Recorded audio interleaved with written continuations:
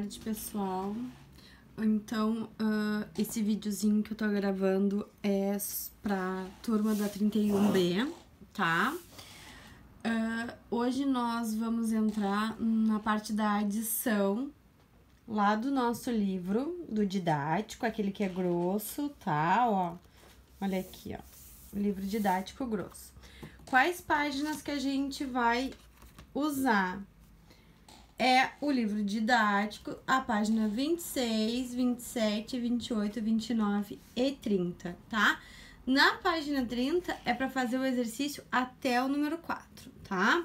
Lá na página 30, vou mostrar para vocês, antes da gente começar, tem outra parte que é sobre a subtração. A gente não vai ver isto hoje, tá? A gente vai ver hoje a adição, ok?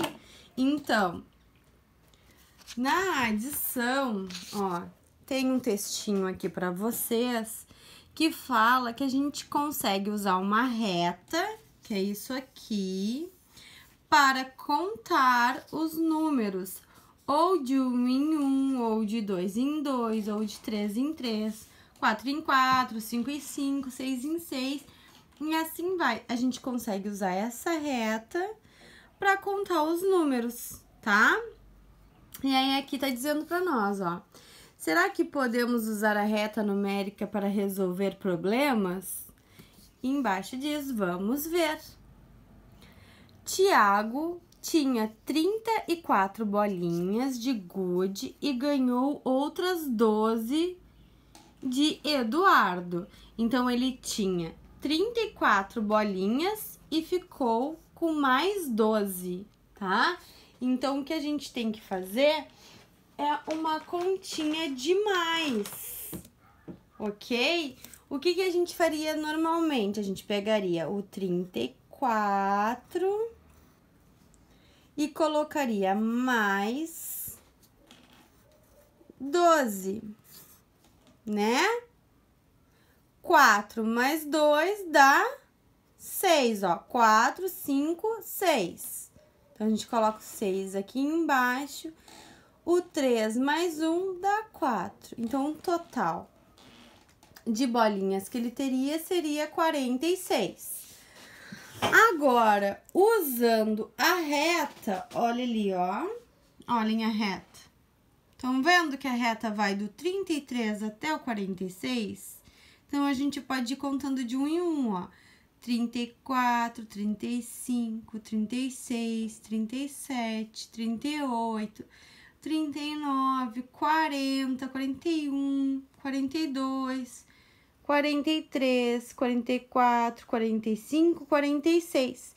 Então, a gente contou 12 vezes até chegar a quantidade de bolinha que o Tiago ficou no final que são as 34 que ele já tinha, mais as 12 que ele ganhou, tá? Então, a gente pode ou fazer uma continha de mais, que a gente já tá acostumado a fazer, ou a gente pode contar na retinha de um em um para chegar até o 36. Vocês vão olhar aqui, ó, Aqui tem 12 mais um. Ó, mais um, mais um, mais um, mais um, até chegar ao 12. Tá? Então, é assim que a gente pode fazer a continha, ó. Ou a gente faz assim, ou a gente conta na reta de um em um, ou dois em dois, ou, dois, ou três em três. Aí vai depender do que o exercício vai pedir pra gente, tá? Lembrem-se sempre, o número grande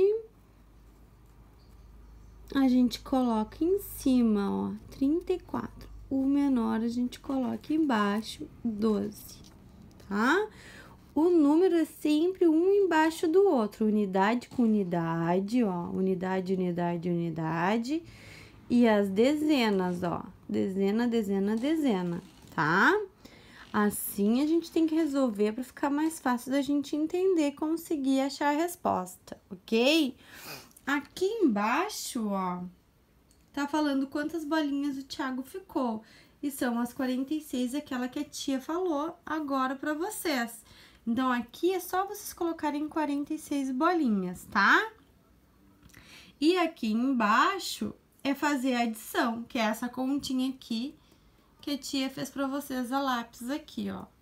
Vocês podem colocar assim também, ó, uma, um númerozinho do ladinho do outro, tá? Se ficar mais fácil escrever assim, vocês coloquem assim, tá? Não tem problema. Aí, lá na página 27, ó, nós temos uma outra explicaçãozinha, tá? Um outro exemplozinho. Então, aqui a adição pode ser representada na reta numérica, que é isso aqui, ó. Pelo deslocamento para a direita. Para a direita e para lá, ó. Para lá, para onde a minha lapiseira tá indo, ó. Para lá e para direita, tá?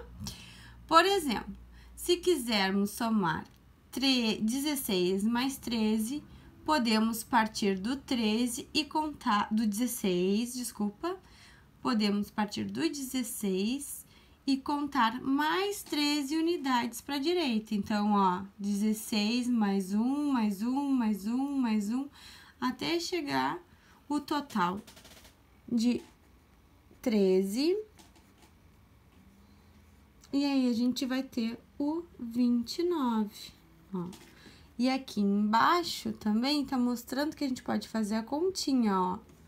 16 mais 13 é igual a 29. Tia vai montar aqui pra vocês, que nem ela fez ali, que nem eu fiz ali na outra, ó. 16 mais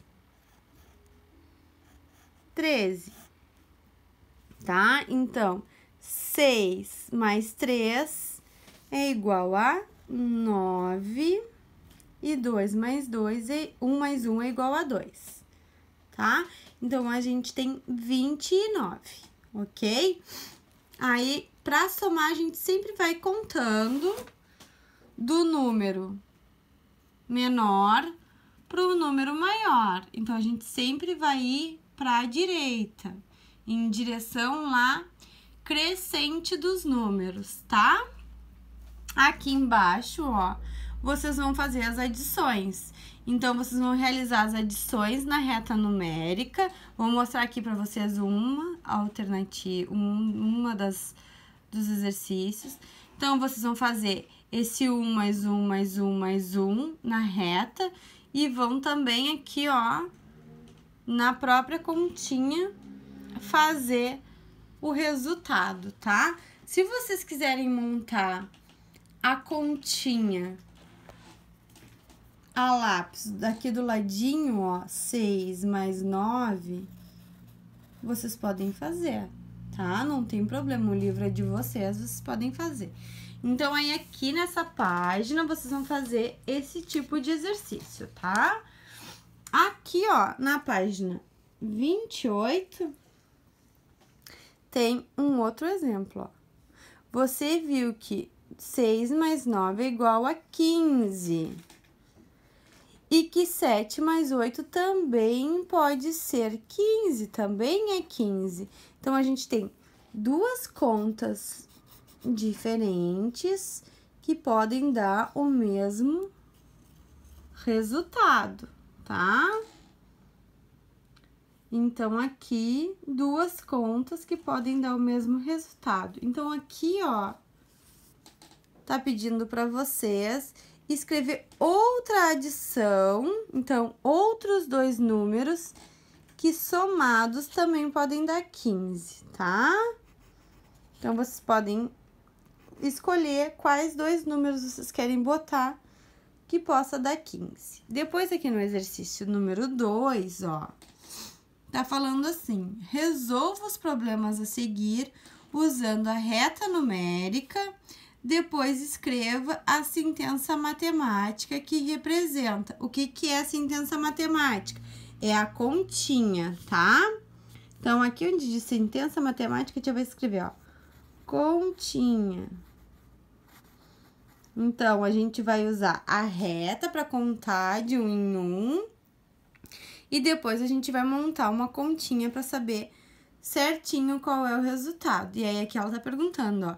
A professora Luana está organizando os livros da biblioteca da sala de aula. Observe a quantidade de livros que ela organizou. Então ela tem 28 livros de aventura e 12 livros de fábulas. E aí lá embaixo tá perguntando quantos livros ela organizou no total.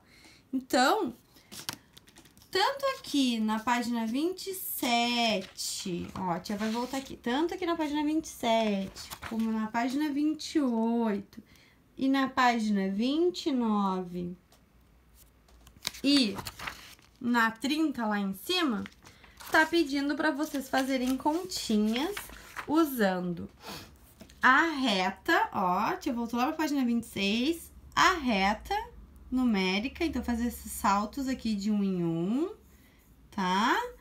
E depois fazer a continha, tá? Então, esses exercícios são bem fáceis, vocês conseguem fazer.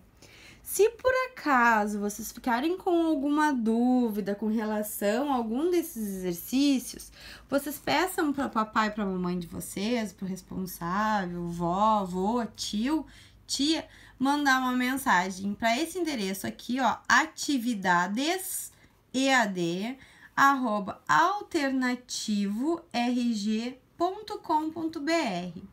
tá? Aí manda com a dúvida que a tia vai pegar e vai responder a dúvida de vocês, tá? Bom, hoje nós teríamos